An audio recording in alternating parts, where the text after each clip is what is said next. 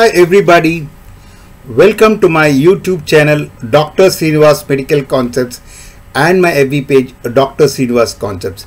This is Dr. Sreenivas, neurologist from Rajahmundry, Andhra Pradesh, India. I'm also the medical author of the book Focus Neurology. My email is 3klpm at gmail.com. Today we're going to talk about a very very fascinating topic the differences between the progressive bulbar palsy and the pseudobulbar palsy, cranial nerves part 73, multiple cranial nerve palsies part 1.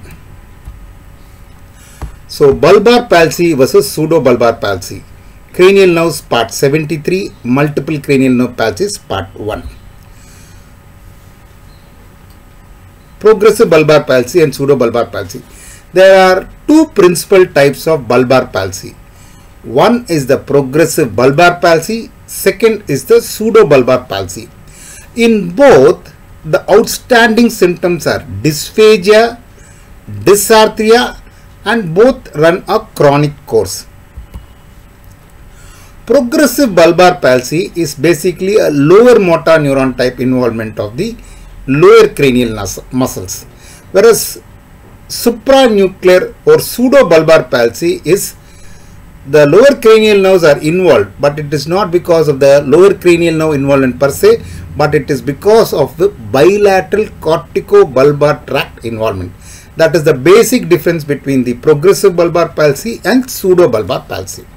So progressive bulbar palsy is a form of motor neuron disease involving bulbar innervated muscles causing weakness and atrophy of the muscles supplied by the lower cranial nerves often accompanied by fasciculations. Progressive bulbar palsy is aggressive and relentless with death usually caused by aspiration pneumonia. Whereas pseudobulbar palsy is caused by bilateral supranuclear lesions which involve the corticobulbar pathways to the bulbar nucleus.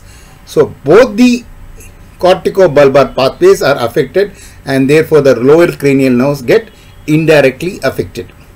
So the most common causes of pseudobulbar palsy is multiple cerebral infarctions.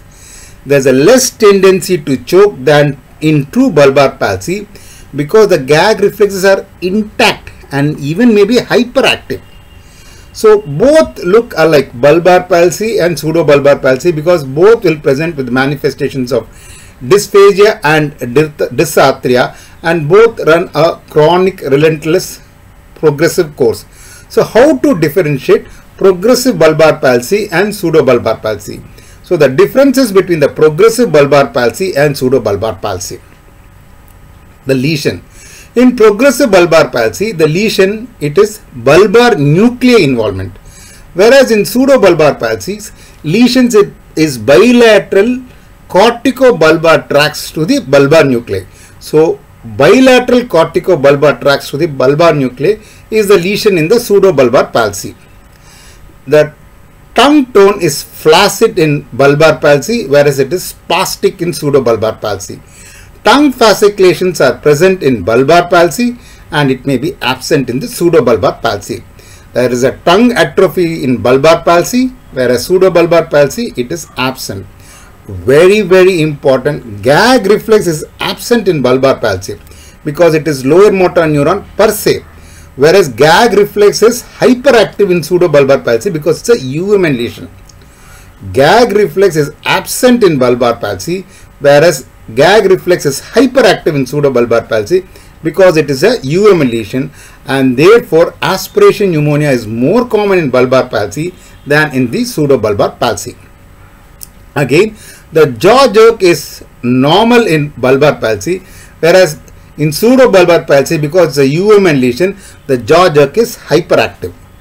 The frontal release signs are absent in, in bulbar palsy, whereas the frontal release signs are present in pseudobulbar palsy.